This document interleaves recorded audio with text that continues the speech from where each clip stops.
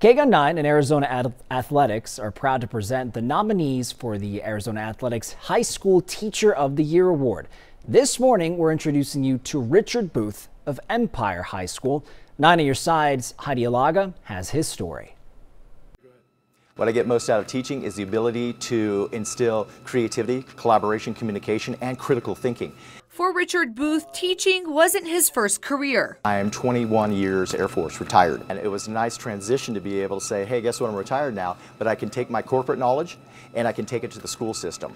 That's exactly what he's doing as a CTE instructor at Empire High School. I get to teach individuals to tap into their potential and being nominated for Teacher of the Year gives him the opportunity to shine a light on his department. Wow, that's fabulous for me because I can showcase our new building, our STEM building, our CTE JTED building. It's a passion he shares with his students. It uh, is a joy for me to see the light bulbs go on.